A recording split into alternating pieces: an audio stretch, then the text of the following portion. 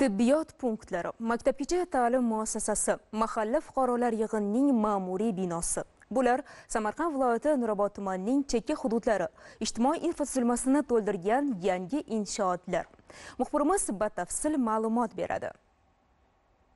Fuqarolarning murojaatlari va sohada olib borilayotgan islohotlar natijasida nurobod tuman markaziy ko'p tarmoqli poliklinikasining sazog'on hududiy bo'limining yangi binosi foydalanishga topshirildi. Ellik qatnovga mo'ljallangan filial o'n besh o'rinli statsionar qismdan iborat bo'lib hududdagi tepaqo'l saroy va sazog'on mahalla fuqarolar yig'inida yashovchi o'n bir mingdan ortiq aholiga xizmat ko'rsatadi. Endilikda muassasada mehnat qilayotgan qirq ikki nafar tibbiyot xodimlari hamda aholi uchun zarur sharoitlar yaratildi. Bundan bizning sazag'an xalqi bizning sazag'an tibbiyot xodimlari juda yam mamnun.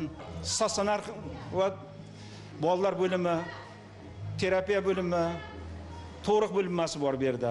Xalqimiz nomidan minnatdorchilik bildiraman. Chekka chekka qishloqlardagi e, aholiga xizmat ko'rsatish amalda deb bilamanda. Mana shunday bir chekka joyda xalq uchun hamma narsa muhayyo. Mana xohlaysiz terapevt birinchi yordam deysizmi? Patronajlar oilaviy patronajlari mana har kuni uyimizdan xabar olib turibdi. Bu narsalar albatta xalq uchun qulaylik.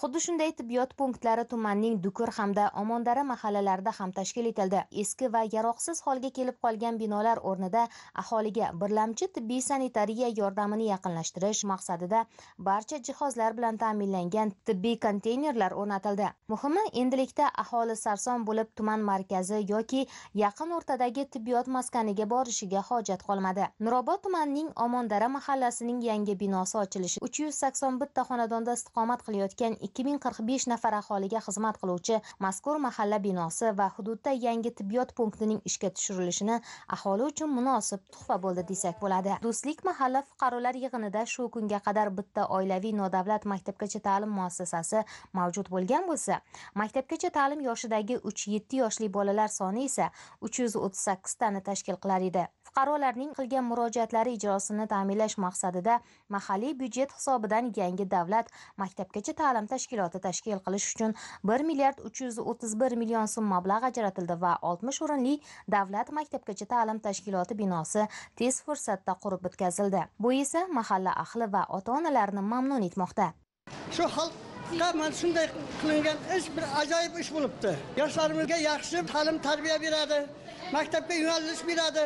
Bugun olis nurobod tumani tom ma'noda obod bo'lib borayotgan go'shaga aylanib bormoqda. Amalga oshirilayotgan bu kabi sa'y harakatlar esa inson qadrini ulug'lash aholini munosib turmush kechirishi uchun zarur shart sharoit va qulayliklar yaratishdek ezgu maqsadlarga qaratilgan.